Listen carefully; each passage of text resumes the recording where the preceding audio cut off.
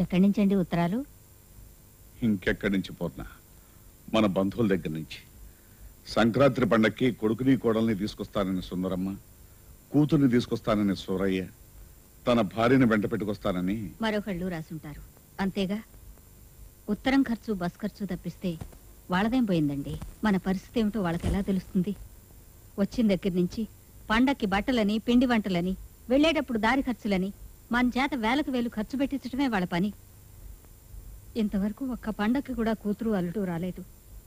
ఈ పండక్కైనా వాళ్ళని తీసుకొచ్చి అచ్చటా ముచ్చటా చూసుకుందాం అనుకున్నాను. ఈ బంధువులు కూడా ఏమిటి చెప్పండి? నిజమే పూర్ణ నన్ను ఏం చేయమంటావు? మీ ఖర్చులు మేము పెట్టలేము మీరు రావద్దు అని మనం ఉత్తరాలు రాస్తామా? నానా ఓ పని చేస్తే? ఏమిట్రది ఈసారి పండగ మనం అక్కాబావలు ఊరెళ్తున్నామని ఎవరు ఇక్కడ ఉండవని మన బంధువులకు రాసేద్దాం. మనం మద్రాసు పోయి హాయిగా అక్కాబావలతో పండుగ జరుపుకుందాం. వీరు చెప్పిన ఆలోచన బాగుందండి. నిజమే పూర్ణ. మనం అమ్మాయి కాపురం చూసినట్టు ఉంటుంది ఎవరి గోళ లేకుండా మనశ్శాంతితో ఉన్నట్టు ఉంటుంది. నేను రేపే వాళ్ళకి మనం ఇక్కడ ఉండటం లేదని ఉత్తరం రాసేస్తాను అలాగే.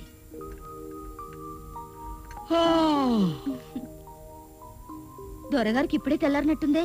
రాత్రంతా నువ్వు నన్ను నిద్రపోనిస్తేగా? చాలే ఊరుకోండి. యాండి దసరాకి దీపావళి కూడా నేను మా ఇంటికి వెళ్ళలేదు. మరి సంక్రాంతికి మీరు పది రోజులు సెలవు పెడితే? చొక్కా వదులు. ఈసారి సెలవు అడిగితే నన్ను మర్డర్ చేసేట్టున్నాడు మా మేనేజర్. నేను నా సెలవులే కాకుండా ఆఫీసులో ఉన్న వాళ్ళందరి సెలవులు వాడుకున్నాన్ని అరవల్లో అరుస్తున్నాడు. సత్య ఓ పని చేస్తే? ఏమిటి? ఈసారి పండక్కి మీ అమ్మని నాన్నని మీ తమ్ముణ్ణి ఇక్కడికి రమ్మని ఉత్తరం రాస్తే? చాలా మంచి మాట చెప్పారండి. వాళ్ళకి మన సంసారం చూసినట్టుంటుంది. మనకి పండుగ సరదాగా గడిచినట్టుంటుంది. ఇవాళ ఉత్తరం రాసేస్తాను. ఇదిగో ఈ పాకి వాడికి బాకీ వాడికి బొత్తిగా టైం లేకుండా పోయింది. నవ్వకు. పట్టుకో. ఇప్పుడే వస్తా. ఎవరు వాడు? ఏ అడుకోవడానికి వేళ పడలేదా పొద్దున బయలుదేరు. పోదా బా. బావా తలపే బావా. ఎవడానికి బావా? తలపే బావా. నేను పా. అంటాడు బావా అయ్యో. మా తమ్ముడు పట్టుకుని ముష్టాడంటారేమిటి? నువ్వు రారా చంటే. వీడిని అవతారంలో చూస్తే నేనే కాదు. మీ అమ్మా నాన్న కూడా ముష్టివాడని అంటారు? ఎరా చంటి ఎక్కడి నుంచి వస్తున్నావు? ఏమిట్రా అవతారం? అది కాదక్క. అమ్మా నాన్న ఇక్కడికి వద్దాం అనుకుని మూడు రోజుల ముందు నన్ను పంపారు. నేను బెజవాడలో రైలు ఎక్కి దుప్పటి కప్పి పడుకున్నాను. ఎవరూ నన్ను లేపలేదు. నిద్ర పట్టేసిందక్క.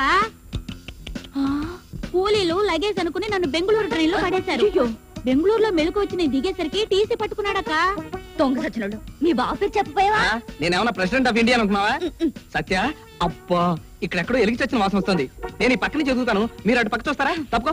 అబ్బో మూడు ఎక్కడ తెచ్చిందో. నువ్వు చెప్పురా తమ్ముడు. టీసీతో నా దగ్గర డబ్బులు లేవన్నాను. ఆ. వాడు నా పెట్టా బెడ్డింగ్ అన్ని తీసేసుకుని డిప్ప మీద కొట్టి పొమ్మన్నాడు. మళ్ళీ మద్రాసు వచ్చే రైల్లో డ్రైవర్ని బతిమలాడుకుని బొగ్గు గుట్ట పక్కన కూర్చొని నీ వచ్చేసానే మొహం చూస్తేనే చేస్తుంది బొగ్గులు బస్తాల మొహం నువ్వును. అవును? అబ్బా వాసన మరీ ఎక్కువైంది. సత్య మొత్తం ఎలుగు ఫ్యామిలీ చచ్చినట్టుంది? నాకు వాసన లేదు. అబ్బా అసలు ఆ వాసన కీలక స్థానం నీకు బాగా అలవాటు అయిపోయినట్టుంది అవును ఇదేంట్రా? పిల్లి పిల్లలు తీసుకొచ్చావా? అక్క మర్చిపోయినక్క. మన ఊళ్ళో మచ్చలావు ఈనిందని అమ్మ నీకు జున్నుండి పంపింది. నేను బయలుదేరి చాలా రోజులైంది కదా. కాస్త వాసన వస్తున్నట్టు కాస్త వాసన? అవును. మొత్తం పేటంతా కలరా వచ్చి చచ్చేంత పవర్ఫుల్గా ఉందా వాసన. ఇదే బయట అయ్యో ఉండండి. పక్కింటి పిన్నికి జున్ను అంటే ఇష్టం. చాలే కుటుంబం అంతా కుళ్ళి కుళ్ళి చేస్తారు. మనల్ని పోలీసులు తీసుకెళ్ళి లోపల పారేస్తారు? ఈ జున్ను హత్యలు చేయడానికి తప్ప తినడానికి పనికిరాదు. అయ్యో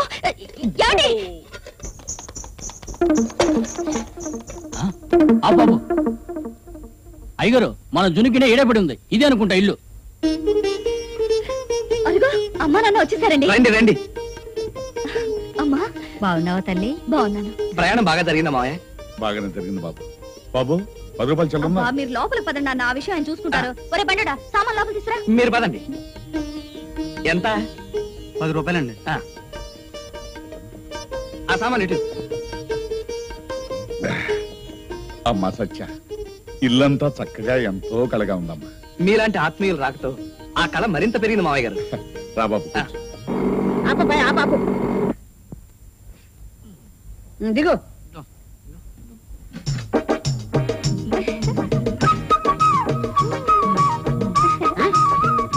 ఆ, అయ్యో అయ్యో అయ్యో అయ్యో ఒరే ఒరే ఒరే ఓ సత్యనాళ్ళారా రోడ్డు మీద నలుగురు చూస్తున్నారు. కాసేపు దాన్ని వదలరా. ఎవడో నీ పెళ్ళాన్ని ఎత్తుపోతాడా ఏమిటది? నేను వదిలినా? చూసావా? అది నా మొదట లేదే. సరే లోపల తగలండి. ఆ పెట్టెలు అదే. ఉమ్. ఇదిగో అబ్బాయి లోపలికి వెళ్ళి డబ్బులు పంపిస్తాను. ఉండు. ఇదేవిడు సూరయ్య కూతురుతో సహా దిగావు ఇదేనా రావడం? కాక మూడు రోజుల క్రితమే వచ్చి కాలక్షేపం లేక రాత్రి బౌలు రిక్షా వేసుకుని ఊరి మీద పడి తిరుగుతున్నా అనుకున్నావా?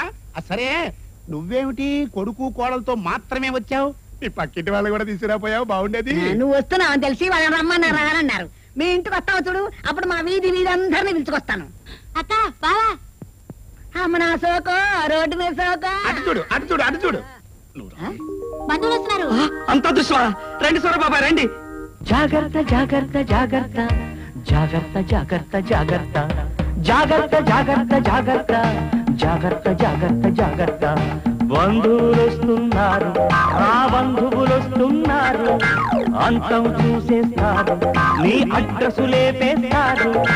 నీ కొంప కుందేరు అయితే ఎవరురా? దిక్కు ఎవరురా? నిన్ను బ్రోచే వారెవరురా? దర్వాజా మూసెయ్యరా.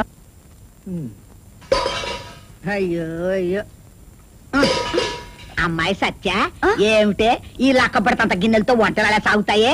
పైగా ఈ పచారీ సరుకులు ఒక్క పూట కూడా రావు. అదిగా సుందరం వదిన ఉండేది వాళ్ళిద్దరేగా? వాళ్ళకి సరిపోతాయని. అవుననుకోవే పూర్ణ. మనం పది మంది వచ్చామా?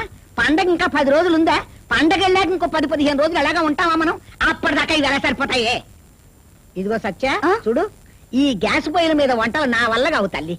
ఈ దొడ్లో గాడిపోయి దవించేద్దాం సరే అత్తయ్య. ఇప్పుడు గిన్నెలు అవి కొనాలంటే? కొనడం ఎందుకే పిచ్చి తల్లి? పెళ్ళిళ్ళకి గంగాళాలు గాబులు ఇవన్నీ అద్దెకిస్తుంటారుగా? అక్కడికి నీ మొగుడు పంపి తెప్పిద్దా. ఇప్పుడెందుకు వదినా? రెండు రోజులు పోయాక. ఛేయ్, నీకేం తెలియదు నువ్వు మాట్లాడు కూర్కో. ఈ మహాపట్నంలో ఓ పూట దొరికితే ఓ పూట దొరకవు. పెద్ద పెద్ద పెళ్ళిళ్ళు వేళ్ళు జరుగుతుంటే మనకు దొరుకుతాయా? ఒకటి దొరికితే ఒకటి దొరకదు. నానా అవస్థ పడాలి. ముందుగా తెచ్చి పెట్టుకుందాం నువ్వు రాసుకో. చూడు అన్నం వండడానికి రెండు గుండిగలు పులుసుకి రెండు గంగాళాలు. ఏమిటి? మజ్జికి రెండు ఇత్తడి బకెట్లు కళా వేసినవి. ఉలుముకలు లేవు పెద్ద సైజు. కూరలు వండడానికి. అవి నాలుగు అన్నది చెప్పడం మర్చిపోయినావు రెండు బస్తాలు సన్న బియ్యం. ఏది? ఒక బస్తా కందిపప్పు ఒక అరబస్తా పెసరపప్పు అరబస్తా మినప్పప్పు ఒక బస్తా శనగపప్పు. బస్తాలు అవడాలు పకోడీలు వేసుకుంటాం కాబట్టి అలా చూస్తావేటి? ఇకపోతే ఓ యాభై కేజీలు పంచదార ఓ యాభై కేజీలు కాఫీ పొడి ఓ యాభై కేజీలు టీ పొడి. ఇప్పటికైతే మళ్ళీ నా తల్లి. ఇంత టైం అయిపోయింది. భోజనాల వేళ కూడా దాటిపోతోంది. ఏమండి ఇగో పచ్చడి సరుకులు లిస్టు. ఇవి తీసుకొస్తే తప్ప వంట మొదలు పెట్టడం కుదరని పని.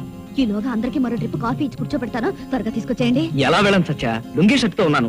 నా పర్సే మా రూమ్లో నా ప్యాంట్లో ఉంది. ఆ కిష్టిగాడు ఆడి పెళ్ళం ఇద్దరు కలిసి ఆ రూమ్లో దూరి తలుపేసుకున్నారు.